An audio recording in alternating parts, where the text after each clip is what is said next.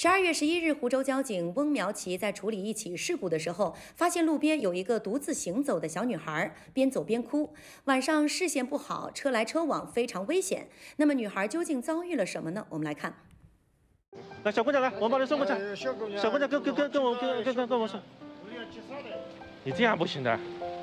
那，小姑娘没事的啊，警警察叔叔把你送回去，好吧？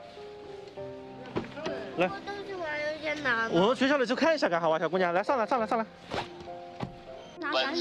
我们在前面，我们看到一小姑娘，一个哭一个走，我们都吓了一跳。对啊，他妈让他去捡东西。说难听，这条路这条这条路上乌漆嘛黑的，你说这个我们都怕，看看都怕。都好了，所以我赶紧就。小姑娘，跟你阿姨回去啊。好了好了好了。要为交警翁苗琪点赞，不仅帮女孩啊将丢失的钥匙找了回来，还将她安全送回家人身边。在这里呢，也得提醒家长，孩子年纪小，家长在教育孩子的时候呢，一定要注意方式方法，凡事要讲道理解决问题，光靠争吵怄气于事无补，矛盾升级啊，还会让孩子接受不了，发生一些极端的事件。